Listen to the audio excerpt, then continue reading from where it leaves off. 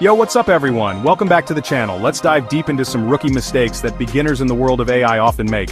Did you know that over 80% of AI projects fail due to common beginner mistakes? Many people rush into AI without truly understanding its limitations and end up making errors that cost time, money, and credibility. Are you making these mistakes? Stick around, because today we're breaking down the biggest rookie AI mistakes and how to fix them before they ruin your work. AI is transforming every industry, from healthcare to marketing to finance. But here is the truth. Most beginners get it wrong, not because AI is complicated, but because they don't know what not to do. One small mistake can derail an entire AI project, making it biased, inaccurate, or completely useless. By avoiding these top AI rookie mistakes, you can stay ahead of the curve and use AI effectively, ethically, and powerfully. AI is powerful, but it's not magic. The biggest issue? Misunderstanding what AI can and can't do. People think that AI is like human intelligence, capable of thinking, reasoning, and making decisions independently, but in reality, AI is just pattern recognition on steroids. Here are some common AI pitfalls that newcomers often face.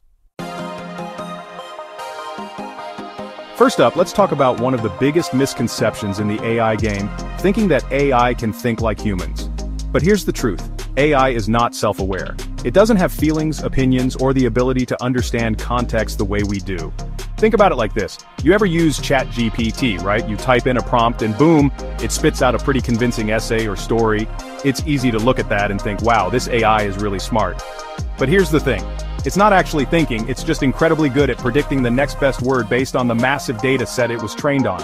It can hallucinate, meaning it can make stuff up, especially when it comes to real-time events or information it hasn't been trained on. So what's the fix? Don't treat AI like a magic solution. AI should enhance your decisions, not make them for you. Let's talk about data, because in the world of AI, data is everything. You might have the most sophisticated AI model in the world, but if you're feeding it bad data, you're gonna get bad results. AI is only as good as the data it's trained on. If your data is biased, outdated, or incomplete, your AI is going to learn those same biases and inaccuracies. We've seen this with facial recognition AI that misidentifies people of color at alarmingly higher rates than white individuals. Why? Because the datasets used to train these AI models often lack diversity, perpetuating existing biases. So, what's the solution? Data cleansing and verification are key. Before you even think about training an AI model, you need to make sure your data is clean, accurate, and representative. Now, let's talk about the ethical side of AI.